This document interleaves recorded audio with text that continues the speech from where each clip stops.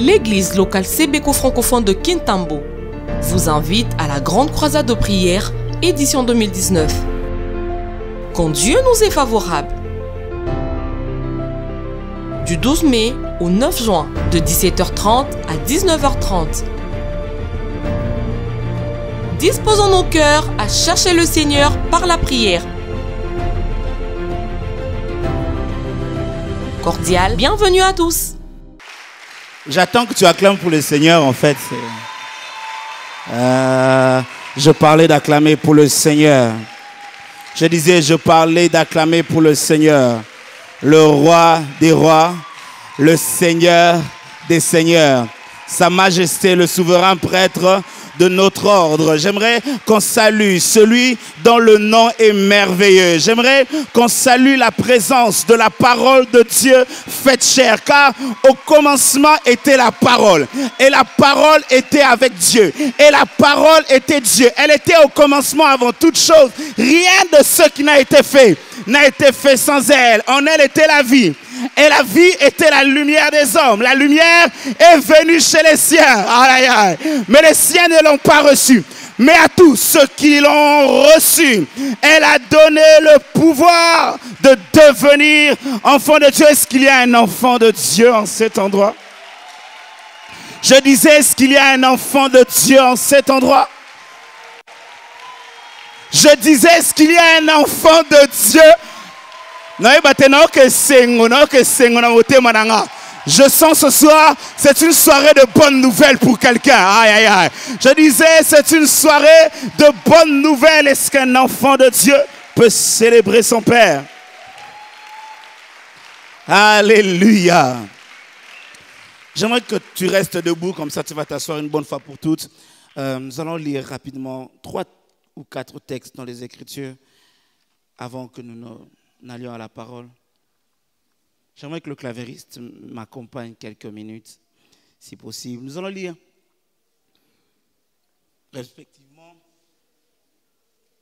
Nous allons lire respectivement Marc 10, 46 à 52. J'aimerais qu'on soit debout, s'il vous plaît, pour honorer la parole de Dieu. C'est vrai que c'est un peu long. Accordez-moi cela. Marc 10, 46 à 52. Je vais lire pour nous. La Bible déclare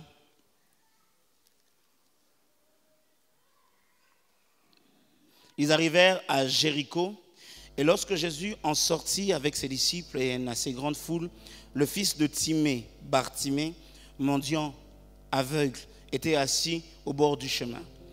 Il, il entendit que c'était Jésus de Nazareth et il se mit à crier, Fils de David, aie pitié de moi. Plusieurs le reprenaient pour le faire taire, mais il criait beaucoup plus fort, Fils de David, aie pitié de moi. Jésus s'arrêta et dit, appelez-le. Ils l'appelèrent l'aveugle en lui disant, prends courage, lève-toi, il t'appelle. L'aveugle jeta son manteau et se levant d'un bond vint vers Jésus.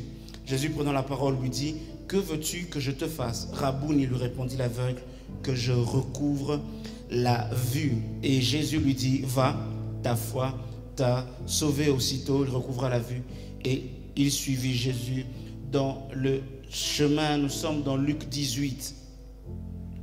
1 à 8. Je ne sais pas si je peux me jouer Your Grace de Michael Smith. Luc 18, 1 à 8. Jésus leur donna une parabole pour montrer qu'il faut toujours prier et ne point se relâcher. Il dit, il y avait dans la ville un juge qui ne craignait point Dieu et qui n'avait point d'égard pour personne.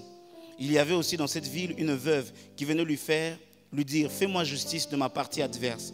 Pendant longtemps, il refusa, mais ensuite, il dit en lui-même, quoique je ne craigne point Dieu et que je n'ai d'égard pour personne, néanmoins, parce que cette veuve m'importune, je lui ferai justice, afin qu'elle ne vienne pas sans cesse me casser la tête. Le Seigneur ajouta, entendez ce que dit le juge unique. Et Dieu ne fera-t-il pas justice à ses élus qui crient à lui jour et nuit? Tardera-t-il à leur égard? Je vous le dis, il fera promptement justice. Mais quand le Fils de l'homme viendra, trouvera-t-il la foi sur la terre? Jean 5.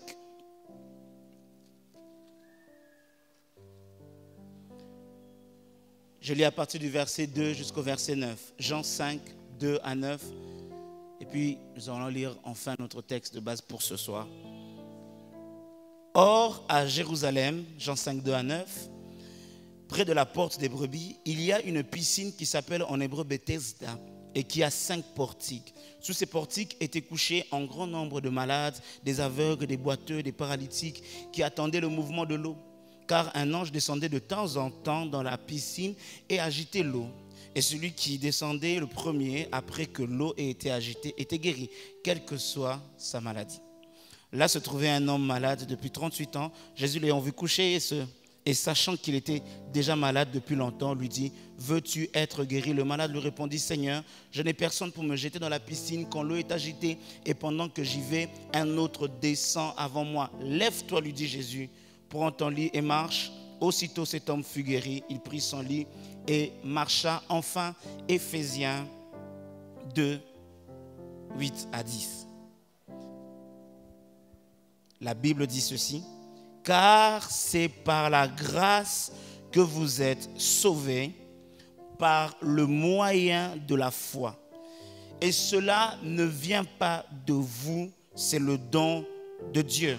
Ce n'est point par les œuvres, afin que personne ne se glorifie car nous sommes son ouvrage, ayant été créés en Jésus-Christ pour toute bonne œuvre que Dieu a préparée d'avance afin que nous les pratiquions. Que Dieu vous bénisse. On peut acclamer la parole en se rasseyant.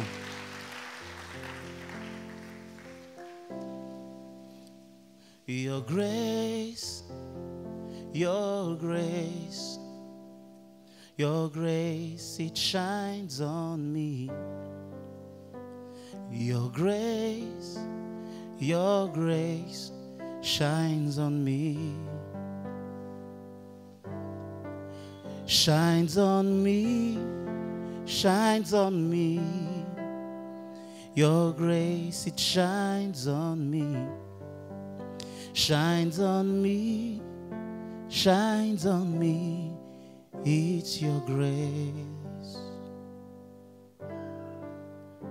Merci Seigneur pour ta grâce. Merci pour ta présence. S'il te plaît, parle. Tes serviteurs écoutent. Honore ta parole, qu'elle soit puissante dans nos bouches, dans notre bouche, dans le nom de Jésus-Christ. Amen. Amen. Que le Seigneur soit béni. Je suis très heureux euh, d'être ici ce soir. Heureux parce que, comme l'a dit le pasteur Normand Bini, c'est ma maison. Je suis ici chez moi. Alléluia. Je suis connu par la plupart d'entre vous, d'autres m'ont vu grandir, d'autres étaient mes moniteurs à l'écodine. C'est toujours ça fait toujours un effet bizarre de prêcher devant les gens qui t'ont prêché. Alléluia. Mais c'est aussi ça, euh, j'allais dire les aléas du ministère. Amen. Voilà, donc de temps en temps, on se retrouve devant un challenge pareil, celui de devoir apporter la parole à ceux qui nous ont appris la parole. Est-ce que j'aimerais quand même que vous acclamez pour cette église pour tout le travail et l'investissement qui a été fait en nous?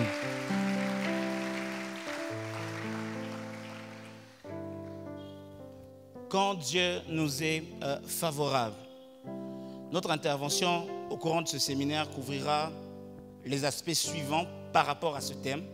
Nous allons d'abord, nous allons parler de manière générale du fonctionnement de la grâce divine. Ensuite, nous allons aussi parler de comment acquérir, comment conserver et récupérer la faveur divine dans la mesure où on l'aurait perdue. Alléluia. Donc, de, manière générale, tous les points que je veux dire n'auront peut-être pas ces sujets-là, mais ce que j'essaierai de faire pendant les deux jours que je serai avec vous, c'est de fixer la pensée sur comment fonctionne la grâce, la faveur divine, et comment l'acquérir, comment la conserver et comment la récupérer si on l'a perdu.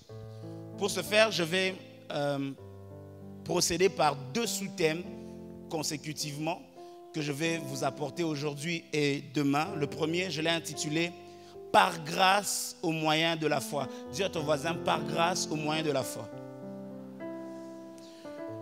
De manière générale, j'aime choisir mes thèmes en tirant des mots de la Bible, comme ça je ne fâche personne par grâce au moyen de la foi. C'est le sous-thème que nous allons exploiter aujourd'hui. Et demain, je vous parlerai du thème que j'ai intitulé Une pleine faveur. Dis à ton voisin une pleine faveur. Alléluia. Alléluia. Voilà. Alors avant d'aller plus loin, il faudrait qu'on définisse c'est quoi la faveur, c'est quoi la faveur divine. La faveur, je l'ai définie euh, sur base de différentes définitions que j'ai pu lire comme étant un avantage octroyé par préférence ou par affinité quelconque sans la contrepartie généralement exigée. Je répète, c'est un avantage octroyé par préférence ou par affinité quelconque sans la contrepartie généralement exigée. La faveur, c'est un traitement préférentiel qui nous octroie des avantages à des conditions moins strictes que celles exigées à tous. Bon, tout ce français veut dire quoi? Quand on parle de faveur, on est en train de parler de quelque chose qu'on nous donne. Donc il y a quelqu'un qui dispense une faveur à quelqu'un d'autre. Mais cette faveur ou cet avantage qu'il lui accorde est une faveur parce que la personne qui la reçoit n'a pas payé le prix ou n'a pas rempli les conditions généralement exigées. Vous êtes avec moi? Ça veut dire, généralement, quand tu es à la caisse du supermarché, tu fais la queue. Mais comme tu connais le caissier, il te fait passer devant. D'accord? Donc, il te fait une faveur. C'est ça la faveur. Donc, je ne remplis pas forcément toutes les conditions, mais je reçois la chose que les autres reçoivent avec un certain prix, moi je la reçois avec un prix moindre. J'emploie très bien mes mots. Mais cependant, la faveur peut se mériter. Je répète, la faveur peut se mériter. Par exemple, lorsqu'un père dit à son enfant, si tu réussis, je vais t'envoyer en vacances en Europe il lui fait une faveur, mais il fixe un prix à cette faveur. Vous êtes d'accord avec moi? Il dit, pour que tu aies accès à cette faveur, il faut que tu réussisses à l'école. Donc, la faveur peut se mériter. Mais quand la valeur de ce qu'on a fait pour mériter cette faveur est soit nulle ou quasi nulle, en comparaison de ce que l'on reçoit, cette faveur devient une grâce. Ça veut dire lorsque on t'octroie une faveur sans t'exiger la moindre chose, ou ce qu'on t'exige est tellement faible par rapport à la chose que tu reçois, on dit que cette faveur devient une grâce. En tout cas, je dis on, là, c'est moi-même. Tout ça, c'est ma propre analyse. Alléluia. Voilà. Donc, voilà. C'est pour ça qu'on définit la grâce comme une faveur imméritée. Parce que je peux mériter la faveur, mais lorsque je ne mérite pas la faveur, ça veut dire je n'ai pas rempli les conditions ou je n'ai pas rempli les conditions du tout, alors cette faveur devient une grâce. Dans l'exemple pour la file dans le supermarché, je connais la caissière. C'est ça le prix de la faveur qu'elle me donne. Pour avoir la faveur, il faut que je la connaisse. Mais imagine que tu ne connais pas la caissière, tu ne connais pas, mais comme ça, pour rien, elle te dit, bon, monsieur, vous passez devant. Ça, c'est une faveur extrême. C'est généralement ce qu'on appelle la, la grâce. Quelqu'un dit avec moi la grâce. Aujourd'hui, je m'apaisantirai un peu plus sur la grâce. Et demain, je reviendrai un peu plus sur l'aspect faveur. Parce que de toute façon, la grâce est une faveur, seulement c'est une faveur imméritée. Jusque-là, vous me suivez bien, n'est-ce pas? Voilà. Ça, c'est de manière générale la définition. Mais la faveur qui nous concerne ici ce n'est pas la faveur des hommes, ce n'est pas la faveur du président, ce n'est pas la faveur du pasteur, ce n'est pas la faveur du ministre. La faveur qui nous concerne ici, c'est la faveur de Dieu. Si qui nous est favorable Dieu. Et si on doit discuter de la faveur de Dieu ou de la grâce de Dieu, le dictionnaire ne peut pas m'aider pour le définir. J'ai besoin de recourir à la Bible. Alors j'ai voulu chercher dans la Bible de quelle façon je peux définir la grâce divine. La faveur et la grâce divine, comment je peux le définir dans la Bible? Jean 1, verset 17 dit ceci. Et nous avons tous reçu de sa plénitude et grâce pour grâce, car la loi a été donnée par Moïse et la grâce et la vérité sont venues par Jésus-Christ. Jean 1, 16 à 17. Écoutez, la grâce divine, celle que nous sommes en train de chercher pendant cette croisade de prière, est dispensée par Jésus seul. Alléluia. La grâce divine, bibliquement, n'est accessible que par Jésus seul, parce que la Bible est claire là-dessus. La loi est venue par Moïse, mais qui a amené la grâce? C'est Jésus. Vous êtes avec moi? La grâce divine est dispensée par Jésus seul. Elle s'oppose à la loi, parce que contrairement à cette dernière, la grâce ne dépend pas de nos œuvres. Oh, alléluia.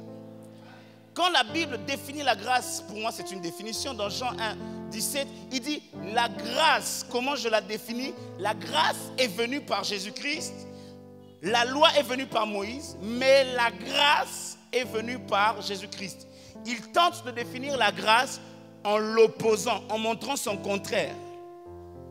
Et le contraire biblique de la grâce, c'est la loi. Alors comment fonctionne la loi? Je te donne une liste de tâches. Si tu les remplis, tu es sauvé. Vous êtes avec moi ici? C'est tout de même une faveur. Parce que je aucune, Dieu n'a aucune obligation de nous sauver. Mais c'est une faveur dont le prix est quand même élevé. Parce qu'il faut obéir, faire ceci, ne pas manger cela, ne pas toucher ceci, ne pas se manger, s'habiller de telle façon, avec une grande liste de choses à faire si tu peux les remplir tous sans en manquer une seule, alors tu obtiens le salut. Vous êtes avec moi? La loi conditionnait le salut à nos œuvres, conditionnait l'exaucement à nos œuvres. Mais la grâce, puisqu'elle s'oppose à la loi, ne demande pas l'intervention de nos œuvres. Quelqu'un est avec moi ici.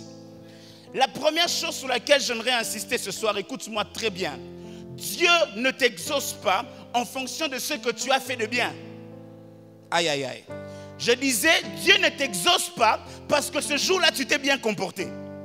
Parce qu'il ne t'a pas sauvé parce que tu étais bien comporté. Si il a réussi à te sauver malgré que tu t'es comporté mal, il n'a pas besoin que tu te comportes bien pour t'exaucer. Je répète, si il t'a sauvé pendant que tu étais encore pécheur, quand il a Bible là-dessus, l'amour de Dieu est démontré envers nous en ce que lorsque nous étions encore, Christ est mort. Écoute, s'il est mort pour toi pendant que tu étais encore pécheur, il n'attend pas que tu agisses bien pour te bénir. Comment ce soir, je suis venu extirper une pensée humaine qui s'est introduite dans l'évangile. Celle de croire qu'on peut faire des choses pour obtenir, la grâce de Dieu. Alléluia. Suivez-moi bien. Suivez-moi bien. J'aimerais dire à quelqu'un, bibliquement, la grâce divine ne demande pas nos œuvres. C'est pour ça que dans Ephésiens 2, il insiste, cela ne vient pas de de vous, mais c'est le don de masola grâce eza nzambe ye moko. Ça veut dire tovandaki na moko biso grâce. Tu es avec moi ici? Nos œuvres bonnes ou mauvaises ne sont pas n'entrent pas en ligne de compte pour ce que la grâce divine peut nous donner je répète, nos œuvres, bonnes ou mauvaises, n'entrent pas en ligne de compte. Écoute-moi, lorsque tu es qualifié avec raison par la loi des mérites, sans tenir compte de la raison, la loi de la grâce peut te qualifier. Ça veut dire quoi, mes amis? Ça veut dire qu'il y a des fois, il y a des choses qu'on nous refuse et on a raison de nous refuser. Alléluia. Ça veut dire so batali famille yo bimeli normalement yo koko ma place wana te ko maladie jamais kobota. Ce n'est pas normal, ce n'est pas possible. Mais ça c'est la raison de la médecine. Ça c'est la raison des hommes. Mais j'aimerais dire à quelqu'un la grâce c'est la raison de Dieu. Ça veut dire elle te qualifie là où toutes les conditions humaines te disqualifient. J'aimerais dire sur quelqu'un, tu es qualifié au nom de... Ah. J'aimerais dire à quelqu'un, toi aussi tu peux y arriver, toi aussi tu peux entrer là-bas, toi aussi tu peux recevoir cette chose, parce que ça ne dépend pas de tes mauvaises ou de tes bonnes actions. La grâce est grâce par elle-même. Hmm, Est-ce que je peux avancer? Dieu n'attend pas que tu agisses mal ou que tu agisses bien pour te faire grâce. Il te fait grâce. Dis Amen et que j'avance. Continuons à définir la grâce. Jean 1, 16, nous avons lu ça tout à l'heure, dit, et nous avons reçu de sa plénitude et grâce pour grâce. Jacques 1, verset 17, va renforcer la pensée de Jean 1 en disant ceci. Toute grâce excellente. Oh, j'aime ce passage. Tout don parfait descende d'en haut. Bien aimé, ce n'est pas toi qui as tiré ça vers le bas, non, soi-même c'est descendu. Du Père des Lumières, chez lequel il n'y a ni changement, ni ombre de, de variation. Qu'est-ce que je veux mettre en avant? La deuxième chose qui nous permet de comprendre la grâce divine du point de vue biblique, c'est que la grâce de Dieu est excellente. Je disais à quelqu'un, la grâce de Dieu est excellente. Je répète, la grâce de Dieu est excellente. Parce qu'elle est le produit de la plénitude. Il dit d'où vient la grâce que nous avons reçue? Nous l'avons reçue de la plénitude de Dieu. Est-ce que je peux parler? Maintenant, Jean 1 est en train de dire nous avons reçu et grâce pour grâce de sa plénitude. Dieu a puisé dans sa plénitude pour nous donner une grâce, ensuite une autre grâce. Alléluia. Je répète, Dieu a puisé dans sa plénitude pour nous donner une grâce, une première. La première grâce, c'est la grâce là qui vient après le pour. Pour grâce. Ensuite, il puise toujours dans cette même plénitude. Il nous donne une grâce pour la première qu'il nous avait donnée avant. Ça veut dire, Dieu vient opérer un échange. Il vient avec une grâce nouvelle pour remplacer l'ancienne grâce. Quelqu'un est avec moi ici? Je ne veux pas que vous vous perdiez. Suivez-moi calmement. Et toutes les deux grâces que nous recevons viennent de sa plénitude. Puisqu'elles proviennent de sa plénitude, elles sont parfaites. Dis à ton voisin, la grâce de Dieu est parfaite. Mais quelle est cette première grâce? Le verset 17 complète. La loi est venue par Moïse. Mais la grâce est venue remplacer la première grâce qui s'appelle loi. Parce que même la loi était une grâce. C'est pour ça que le psaume dit, la loi de l'Éternel est parfaite. Parce que la loi de Dieu est une grâce. Seulement, dans le trésor de Dieu, Dieu avait une grâce plus excellente que la loi. Alléluia. Dieu avait une grâce plus excellente que la loi. Alors, pour recevoir cette nouvelle grâce, il fallait qu'il abolisse la première grâce. Et il dit donc, la loi est venue par Moïse. Mais pour accomplir et mettre fin au règne de la loi, il a amené Jésus-Christ, qui nous a dispensé la véritable grâce. Est-ce que je parle à quelqu'un? Écoute-moi très bien. Je n'ai besoin de rien de plus quand j'ai reçu la grâce de Dieu. Aïe, aïe, aïe. J'ai dit à quelqu'un, quand tu as reçu la grâce de Dieu, tu n'as pas besoin qu'on ajoute quelque chose. Parce que la grâce de Dieu, c'est tout ce dont tu as besoin. Parce que la grâce de Dieu peut tout te donner. Oh, je répète. Quand tu as reçu, je demande à quelqu'un, celui qui a la grâce n'a pas besoin que le président s'intéresse à lui, il a la grâce. Celui qui a la grâce n'a pas besoin que son oncle intervienne, il a la grâce. Celui qui a la grâce peut ne pas avoir besoin que le médecin intervienne. La grâce peut te donner ce que le médecin peut te donner, ce que les relations peuvent te donner, ce que les parents peuvent te donner. La grâce a la capacité de se changer en toutes choses. Ah, je vais dire à quelqu'un, quand tu as reçu la grâce, tu as reçu le don parfait. Oh mon Dieu. Quand tu as reçu la grâce, ce soir, j'aimerais que quelqu'un célèbre le salut qu'il a reçu. Nous n'avons pas besoin d'une autre grâce. Hmm, alléluia. Je n'ai besoin de rien de plus quand j'ai reçu la grâce de Dieu. Continuons de tenter de définir bibliquement le concept de grâce. Éphésiens 2.8, d'où je tire mon thème, dit ceci. C'est par grâce que vous êtes sauvés par le moyen de la foi. Et cela ne vient pas de vous, mais c'est le don de Dieu.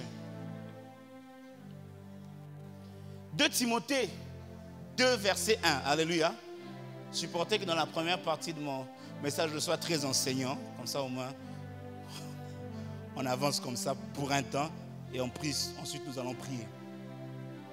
2 Timothée 2, verset 1 dit ceci. Toi donc, mon enfant, je lis dans la version Semeur, puise tes forces dans la grâce qui nous est accordée dans l'union avec Christ. Toi donc, Timothée, mon enfant, puise toka makasi na yo na nzela tu es avec moi ici? Est-ce que quelqu'un est en train d'entendre ça? Donc la bible présente la grâce comme un stock comme un hangar avec des choses à l'intérieur comme une source qui renferme de l'eau. Alléluia la Bible présente la grâce comme un stock. Ce stock a deux caractéristiques très importantes.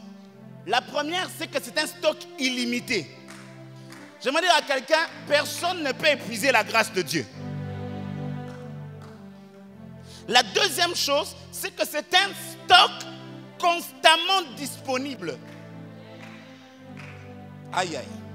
Ça veut dire que quand tu viens au magasin de la grâce de Dieu, ça ne te dira pas fermé pour cause d'entretien.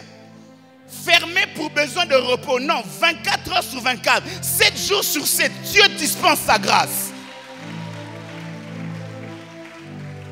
Mais ce qui est encore beau à savoir, qu'est-ce que contient le magasin de la grâce? Ah Il dit, vous êtes sauvés par grâce. Ça veut dire, dans le magasin de la grâce, tout ce que vous trouverez s'appelle salut.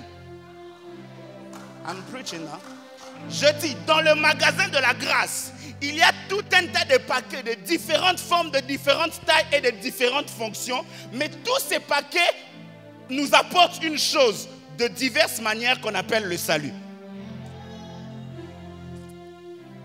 Soteria, dans sa vision la plus globale, c'est le salut de l'âme, le salut de l'esprit et le salut du corps.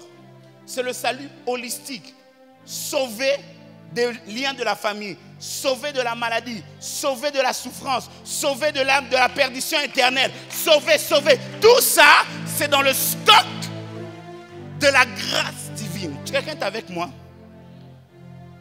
Est-ce que je parle à quelqu'un? Maintenant écoute, quand Paul s'adresse à Timothée, il nous révèle une chose importante. La part de Dieu, et il a rempli, c'est de rendre le stock disponible. Ça veut dire quand Jésus est mort, Jésus est venu dans le magasin de la grâce, il a ouvert. Il a dit maintenant c'est disponible. Mais la part de l'homme ou de l'enfant de Dieu sauvé, c'est de faire comme ce que Paul dit à Timothée. Puise dans la grâce. tala bato mosusu bozobela gastrite mpo ozomona baninga baokende liboso moto apekisi yo aza te puise dans la grâce ah, je me dis comment lui il arrive me dis à quelqu'un puise dans la grâce. Le stock de Dieu est grand et varié. Il y a assez d'espace pour que l'univers entier puise en même temps. T'as la connexion à grâce et, bégagate pour se connecter et belé. Et l'équipe 4G à volume. Ah, j'aimerais dire à quelqu'un, puise dans la grâce. bato ozoyima pamba talizi bangolo eza kende toka. Oyo naza na posa kende toka. Naza na posa bonne santé kende toka. Naza na posa na bala va puise tout pour nous est disponible par la grâce. Est-ce que je parle à quelqu'un ce soir? Ce soir nous allons puiser dans la grâce ce que je sais, c'est que le stock de Dieu est illimité. Il contient des solutions variées, des solutions. Ah, c'est pour ça que Paul dit il faut qu'aujourd'hui, les principautés, les dominations connaissent par l'Église la sagesse infiniment variée de Dieu. Ah, je veux dire à quelqu'un, stock par exemple, par exemple, Azana salut mon Kobota. Tu es avec moi? Sikoyo sali wana kobeta apesaka yango sikoyo na baforme ebele akopesa mwasi moko boye oti obala ka sikoyo apesi ye mabota to akopesa mpe mwasi mosusu anuni neti sara komi na age motu baozela te me apesi ye quand même mabota to akopesa mpe mwasi mosusu ayebi ata nzoto ya mobali te me apesi ye mabota ah, je veux dire à quelqu'un le dieu de la grâce peut changer de méthode pour donner la même chose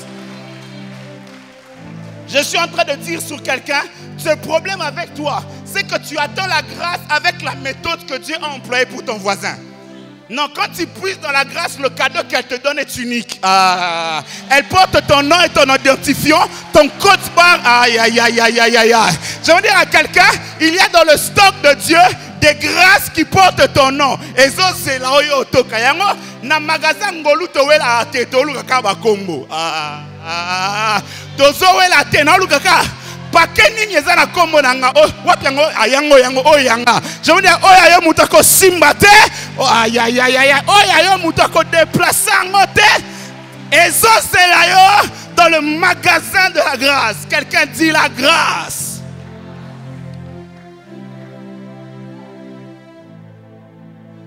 Alléluia. Il dit, mon fils Timothée, tu te sens faible, puise dans la grâce. Qu'est-ce qui se passe dans ta vie? Tu as beaucoup échoué, puise dans la grâce. Et au fond, mon message aujourd'hui va nous aider à savoir comment puiser dans la grâce. Parce que maintenant que tu as compris ça, tu comprends que tout le problème, c'est ta capacité à puiser dans la grâce. Dieu a disponibilisé le stock. Mais il ne va pas faire tout pour toi quand même. Tu es avec moi ici Jean 3,16. Car Dieu a tant aimé le monde afin que quiconque soit sauvé, afin que quiconque croit en lui ne périsse pas, mais qu'il ait la vie et éternelle. La part de Dieu, c'est de donner. La part de toi, c'est de puiser en croyant. Quelqu'un dit Amen. Est-ce que je peux avancer? Le salut, quelle que soit la forme qu'il prend, est stocké dans la grâce. Et Paul, dans Ephésiens 2.8 que nous avons lu, nous révèle le moyen que Dieu a prévu pour que nous puissions puiser dans la grâce. Il dit, vous êtes sauvés par grâce. Ça veut dire, le salut est dans le magasin qu'on appelle grâce. Mais il ne s'arrête pas là. Vous êtes sauvés par grâce au moyen de la foi. Ça veut dire la foi, c'est la main de l'homme qui puise dans la grâce de Dieu. Je répète, la foi, c'est la monnaie que l'homme amène dans le magasin de Dieu pour obtenir le salut. Parce que quiconque croit est sauvé. Ce n'est pas tous qui sont sauvés, c'est tous ceux qui croient qui sont sauvés. Ainsi, j'aimerais te dire, Dieu ne te demande qu'une chose en réalité pour obtenir la grâce. Et je pèse mes mots. Il ne t'en demande qu'une, c'est de croire.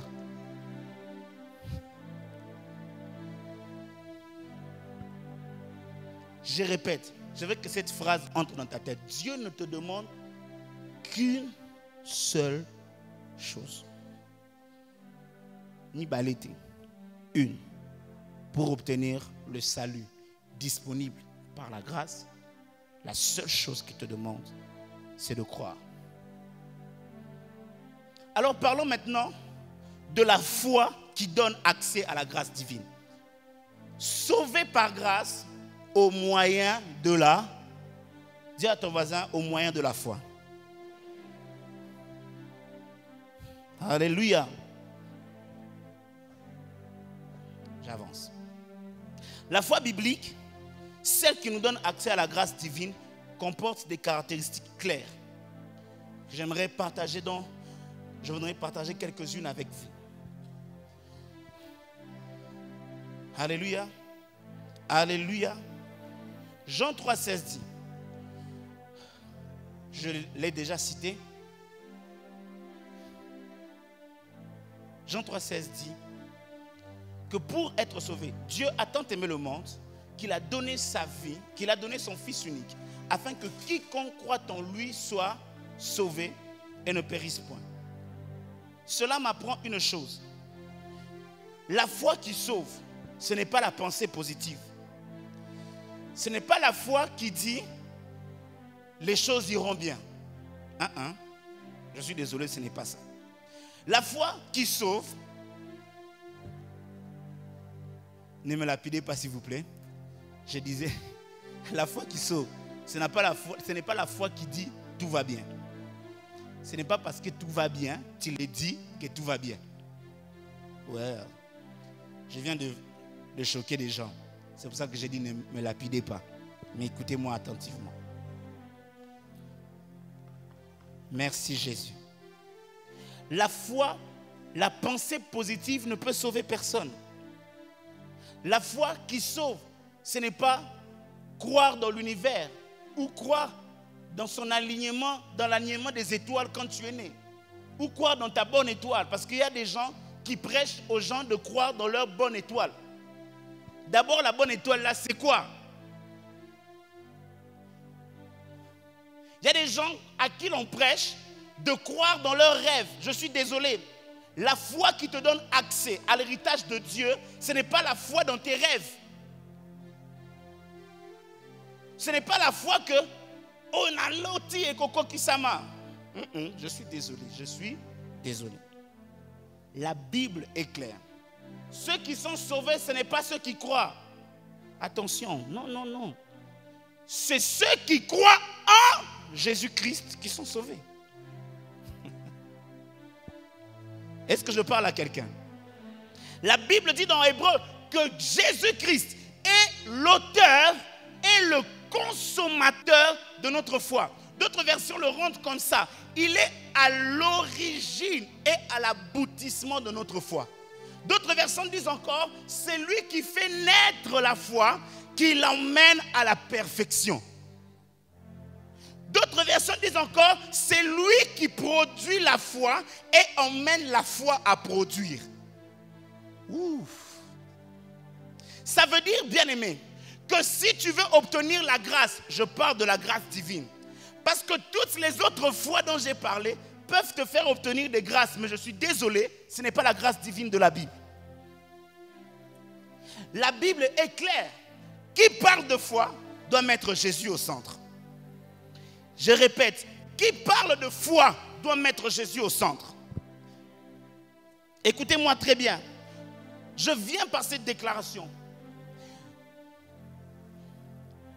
Dire à haute voix et sans crainte que toute idole doit être chassée de l'église du Seigneur. Parce que nous ne placerons pas notre foi dans les dons spirituels. Nous ne placerons pas notre foi dans la puissance ou dans, dans, dans, l'alignement des étoiles ou dans notre bonne chance. Ma foi, je l'ai placée en Jésus-Christ. Parce que c'est un homme qui me sauve et cet homme, c'est Jésus-Christ de Nazareth. Dis Amen que j'avance. Cette vérité est importante. Il faut que la foi chrétienne, la foi authentique dans toutes ses dimensions, nous emmène à Jésus-Christ. Elle vient de lui et elle nous emmène à lui. La foi de Jésus commence par Jésus. La foi de la Bible commence par Jésus et se termine par Jésus. Au début, Jésus. À la fin, Jésus. Lorsque vous enlevez Jésus du message de la foi, ce que vous prêchez, ce n'est pas la foi biblique. Je suis désolé. Est-ce que je parle à quelqu'un? Parce que ce n'est pas ceux qui croient qui sont sauvés. Non, c'est ceux qui croient en lui. Lui qui le Fils unique de Dieu. Et nous savons que le Fils unique de Dieu a un nom, c'est Jésus-Christ. La foi biblique croit. Deuxième chose, je suis dans Hébreu 11. La Bible dit, Or la foi est une ferme assurance des choses qu'on espère, une démonstration de celles qu'on ne voit pas. Vous êtes avec moi ici? Donc la foi biblique croit dans l'invisible. Ou plutôt, la foi biblique intègre, accepte la pensée de l'invisible. Parce que Jésus est la partie visible du Dieu invisible. Celui qui croit en Jésus dit, ce Jésus que les pôles ont vu représente à mes yeux le Dieu que personne n'a vu. Tu es avec moi? Ce Jésus que d'autres ont vu et dont ils, nous en ont rapporté l'histoire, il est l'image visible. Je suis dans Hébreu 1 du Dieu invisible. La foi biblique intègre la pensée de l'invisible. Elle ne dépend donc pas de la vue. Ça veut dire, bien aimé, que ce que tu vois ou que tu ne vois pas, tu dois croire. Je répète, que tu aies vu ou que tu n'aies pas vu, tu dois. Elle ne dépend pas de ce qu'on voit. J'aimerais parler à un Élysée en cet endroit. Tu vois l'armée des Assyriens nombreuse et tu commences à avoir peur dans ton cœur. Comment allons-nous nous en sortir, Géasi Il a peur. Et Élisée va dire, Seigneur, ouvre-lui les yeux. Parce qu'il n'a pas compris une chose. Il croit que pour les combats, quoique le combat est visible, il, croit qu'il a besoin du visible pour remporter dans le visible. Non. La foi biblique me dit que même dans le visible, je peux remporter le combat par l'invisible. Ah, ah. J'aimerais dire, maladie n'est pas réelle, mais la foi qui te guérit ne se voit pas, mais elle guérit la foi. kisi po ebikisa yo fo mona yango omeli kisi mais imposition de main esalaka nini nayebi te mais eloko moko elekanaka ntango tozo impose maboko babeli babikaka parce que la foi de la bible croit dans l'invisible. Elle intègre la pensée de l'invisible. Tu es avec moi ici? Géasi, il n'y a pas que l'armée assyrienne que tu vois. Il y a aussi l'armée angélique que tu ne vois. Maintenant, le plus dur, c'est de marcher en considérant des choses que je ne vois pas. Tu es avec moi ici Alléluia.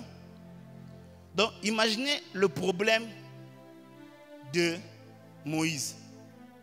Il emmène des milliers de personnes. Un montant de temps dans la Bible, il faut qu'on mette ça dans le contexte. Ce n'est pas 100 000 personnes, c'est tout un peuple. 400 ans à Kobota. Vous imaginez, ça fait combien de gens? Donc pendant 400 ans, et puis la Bible précise qu'ils étaient très féconds. Donc niveau Bazara qui est belé. Puis quoi, pendant 4 siècles.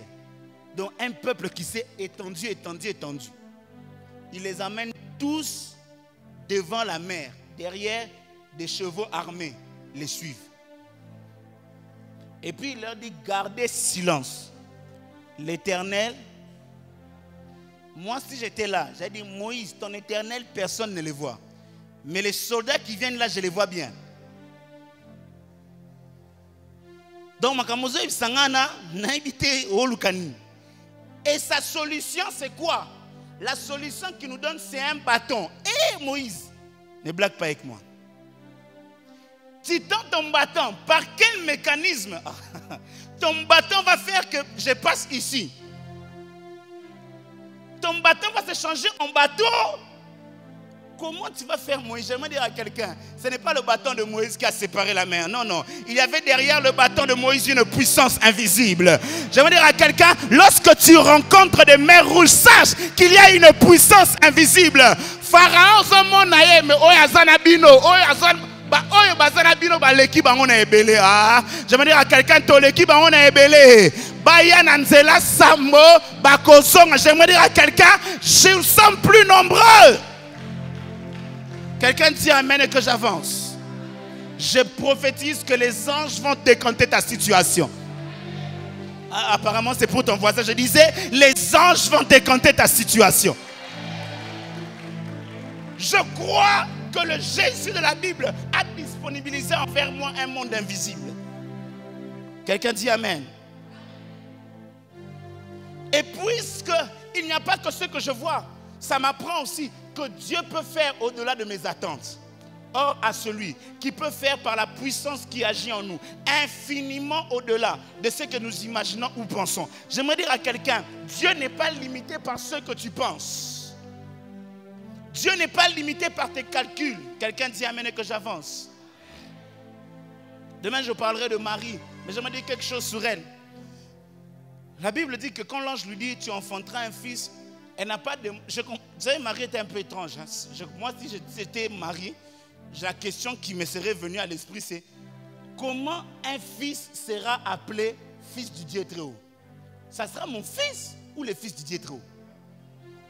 Moi, en tout cas, c'est la question qui me viendrait. Mais Marie pose une question plus pertinente que la mienne. Elle dit comment cela c'est à supposer qu'il est possible que Dieu envoie un fils qui soit à lui sur la terre? Supposons, j'accepte. Mais par quel mécanisme? J'aimerais dire à quelqu'un, Dieu a des mécanismes invisibles, plus efficaces que les mécanismes visibles. Quelqu'un dit Amen et que j'avance. Dieu a des mécanismes invisibles. Dieu peut agir au-delà de nos attentes. Dieu peut le faire. Cependant, quand tu examines calmement la Bible, elle va nous décrire que la foi biblique, la foi qui me donne accès à la grâce de Dieu, a une autre caractéristique très importante. C'est que cette foi-là me donne accès à la grâce par la prière. Je répète, la foi biblique me donne accès à la grâce par la prière. Je veux dire quoi? Que la foi biblique s'exprime de plusieurs façons, certes, mais l'une l'un des modes préférentiels d'expression de la foi biblique, c'est la prière. Si tu crois, tu pries. Je répète, si tu crois, tu pries. Tu es avec moi ici Maintenant, nous allons parler pendant quelques minutes et je vais cesser de vous embêter sur la prière de la foi. Dis à ton voisin la prière de la foi.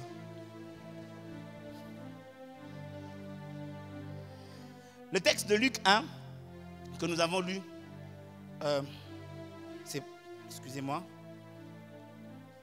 le texte de Luc 18 plutôt, que nous avons lu, parle de la prière. Dieu, Jésus va donner une parabole claire. Il va dire, le sens de sa parabole, il le donne avant même de commencer la parabole. Il dit, Jésus donna une parabole afin de montrer qu'il faut toujours prier et ne jamais se lasser. Alléluia. Alléluia. Suivez-moi, j'espère que je ne vous embrouille pas.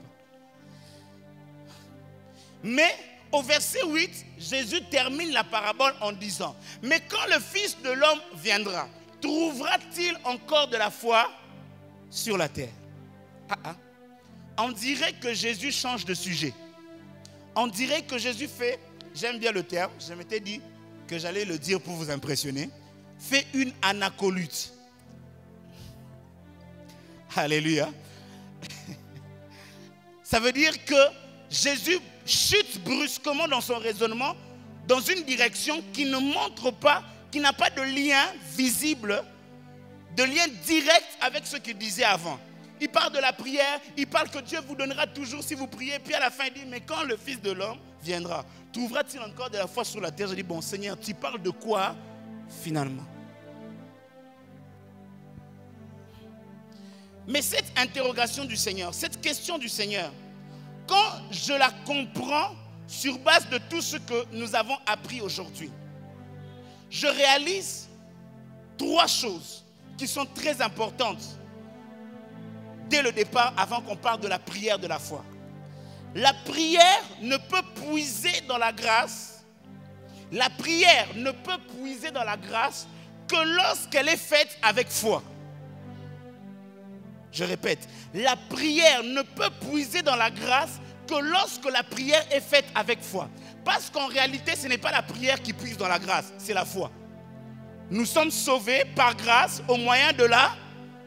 Donc une prière sans foi est une prière qui ne s'adresse pas au bon magasin. Quand tu n'as pas la foi, tu n'es pas dans le magasin de Dieu. La chose qui t'ouvre le magasin de Dieu, c'est la foi. C'est pour ça que Jacques, dans Jacques 1, va dire, si quelqu'un d'entre vous manque la sagesse, qu'il la demande à, à Dieu, lequel donne à tous sans faire exception de, mais qu'il la demande avec euh, foi. J'aimerais dire à quelqu'un, si tu pries, prie avec foi. Je disais, prie avec foi. Je répète, prie avec foi. Prie avec foi. En t'appuyant sous le nom de Jésus, sache que Dieu va t'exaucer. Quelqu'un dit Amen?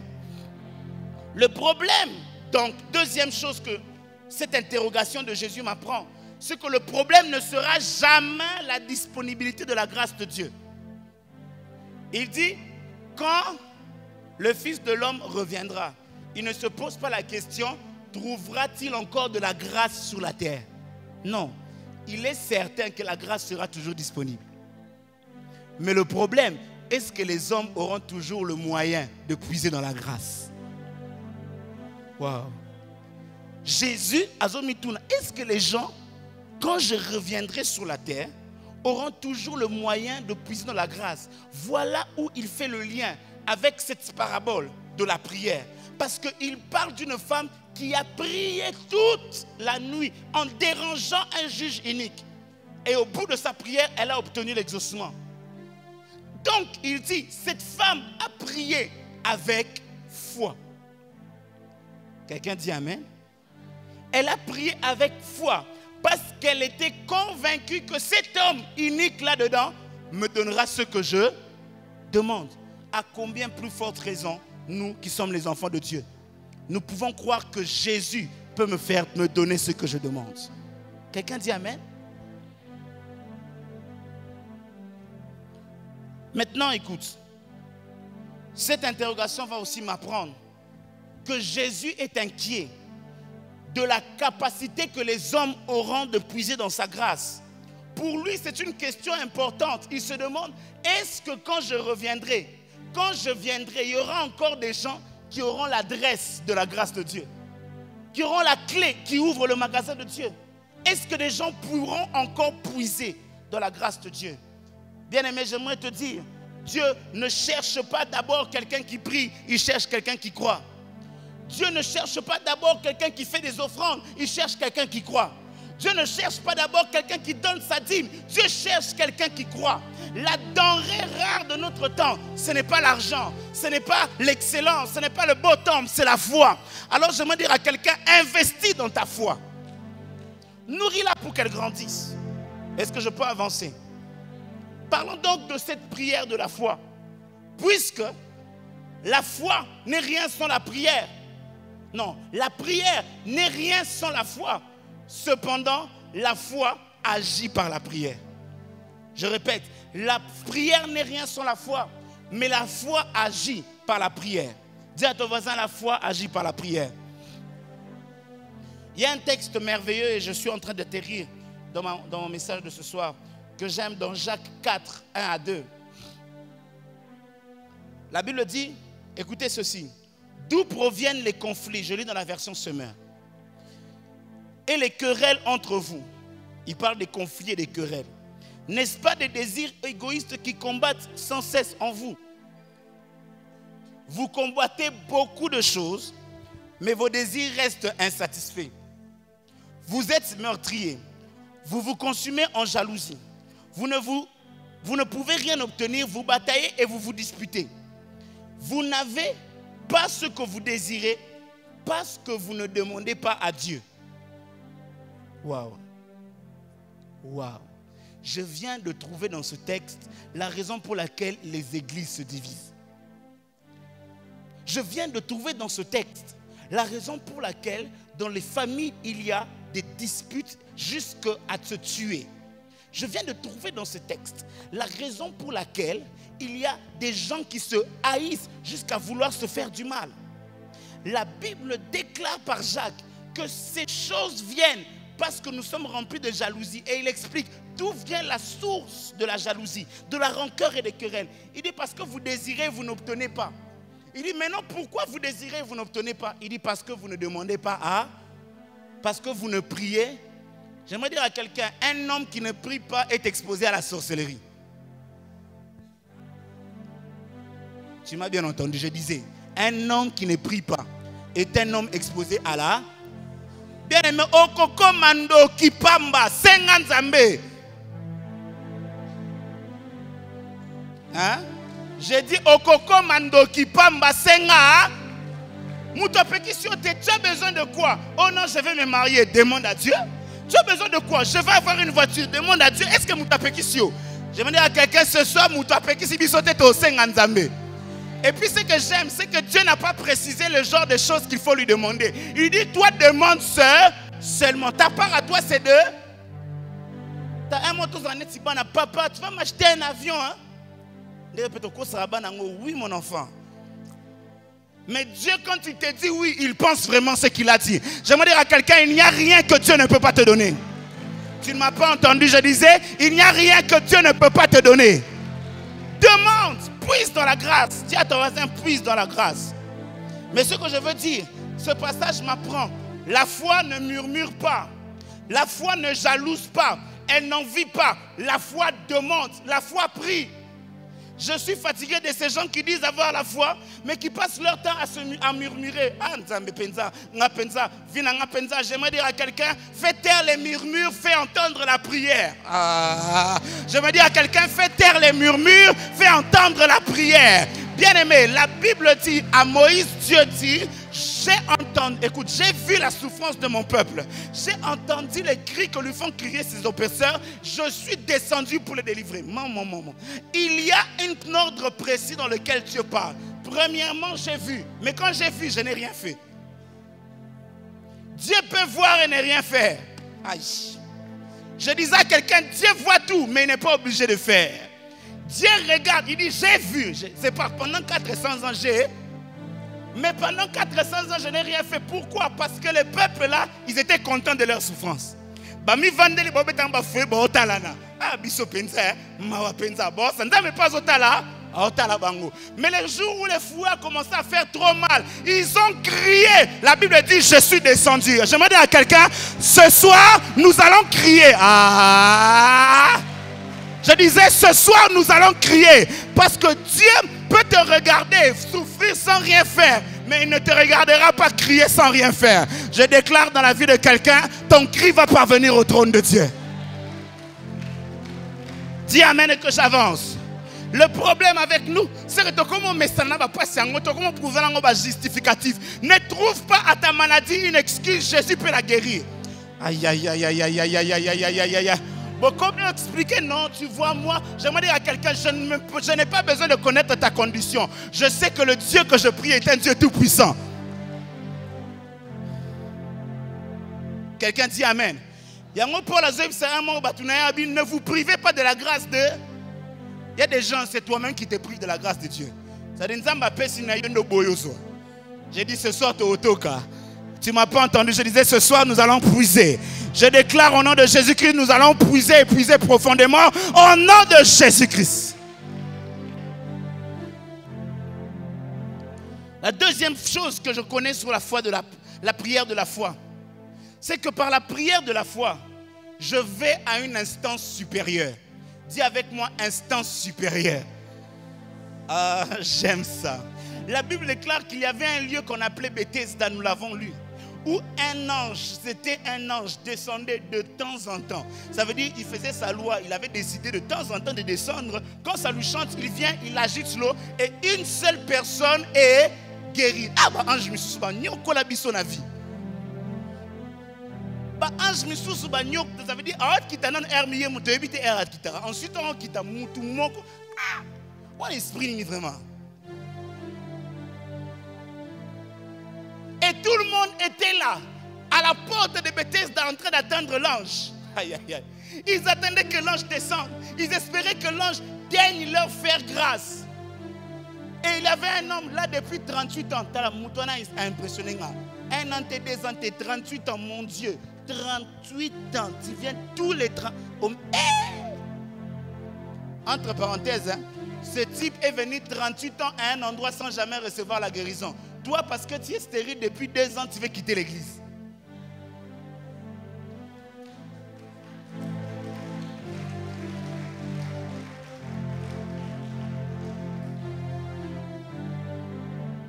Tous les jours, ils étaient là en train de supplier Ange Kitako, Ange Kitako, Soga Kiti, prends tout, bah, comme qui m'embang. Et puis je vous dis, ce type avait des blessures intérieures, je vais revenir là-dessus. Parce que quand Jésus lui demande, tu vas être guéri, comment expliquer? Ça fait 38 ans que je suis ici. Oh, tout tu vas être guéri ou pas?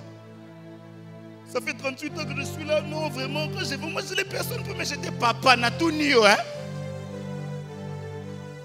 On se montagne trop comme biloba loba.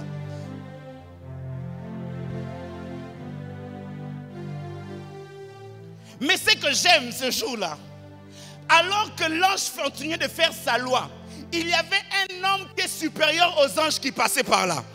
Et cet homme a compris que ce que l'ange n'a pas pu donner à l'instance inférieure, moi j'ai créé l'ange, je peux le donner à l'instance supérieure.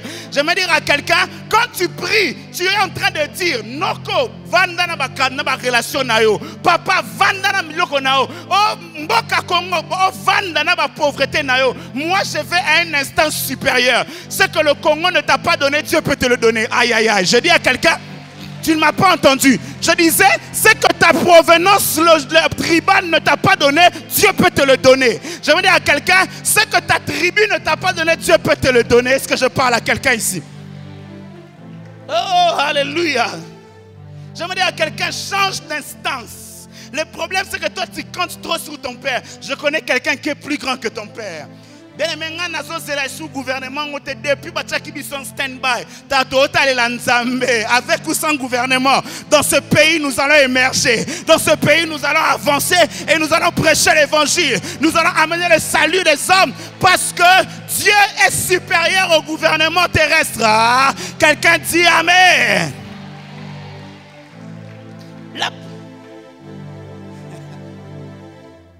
La troisième caractéristique de la prière de la foi, c'est que la prière de la foi est fervente. Dis avec moi fervente. On y place un na bingi. Alléluia. Surtout na biso bata missioni. Alléluia. Nous les enfants de missioni, on a un problème de ce côté-là. Écoute. La Bible ne dit pas que quand Dieu a entendu les cris des enfants, il est descendu. Non. N'a entendu les prières des enfants d'Israël, il est descendu. Non. Il dit j'ai entendu leur Cri là, c'est quoi? Ça veut dire, hein, est-ce qu'on comprend? Qu'est-ce que je veux dire par là? Beaucoup de gens pensent que la prière peut être faite de n'importe quelle façon. De toute façon, Dieu entend. Non. La Bible précise, Élie était un homme de la même nature que il pria avec ferveur et Dieu l'exauça. Donc, ce n'est pas la prière d'Élie qui a qui a fait tomber la pluie. Mais c'est la prière fervente d'Élie. Et la Bible dit dans le même texte de Jacques, dans le même euh, livre de Jacques, que la prière fervente du juste peut donner la guérison. Ce n'est pas la prière du juste qui donne la guérison, c'est la prière. Mais, un mot qu'il faut prier. Ça veut dire aux autres prier sans sentir qu'on prier. Ça veut dire son ange le canal n'a pas Parce que j'ai, écoute, j'aimerais dire à quelqu'un, cet homme qu'on appelle Bartimée, a mis ça un commandier. Est-ce que quelqu'un qui mendie crie? Vous avez déjà remarqué que les mendiants parlent toujours à basse voix. Hein? Papa, Sanga. Il était habitué à parler à basse voix en train de... Mais ça m'étonne, le type qui a mendié pendant je ne sais pas moi combien d'années. Ce jour-là, il entend que quelqu'un passe du nom de Jésus. A changé méthode. Ah, ma senga malé meza souté. Jésus mwana Dawidi. Oui, j'aimerais dire à quelqu'un ton problème c'est qu'on va dire nous kimia mingi. Je dis ce soir nous allons crier. Ah! J'aimerais dire à quelqu'un ce soir nous allons crier. Et comme il est à Koganga, Jésus mwana Dawidi ta passion yo kanabi bata. Ton problème maman c'est que tu souffres en silence okufa okufa boyeba te ezemdi ganga ganga nzambe oyoka na bilelo toganga nom de jésus christ Hey, Alléluia. La prière doit être fervente. Dis Amen. Mais la prière de la foi ne doit pas seulement être fervente parce que la ferveur des Quinois a un problème. C'est que Zalaka y a vendredi soir. Donc vendredi, tu as un jour de prière dans l'église, à vibrer. Si vendredi prochain. Est-ce que je peux avancer? Dieu ne t'a pas encore exaucé, mais tu ne pries plus pour ça. Dieu m'a dit ceci, la prière de la foi persévère. Elle ne s'arrête que quand elle est exaucée. Je répète, la prière de la foi persévère. Elle ne s'arrête que quand elle est... J'aimerais dire à quelqu'un, la prière a une date d'expiration. Sa date d'expiration, c'est l'exaucement. Ça veut dire, tant que na nakotika, tie nabita totika tie alemba biso abenga na biso na présence na si c'est possible mais biso to continue à prier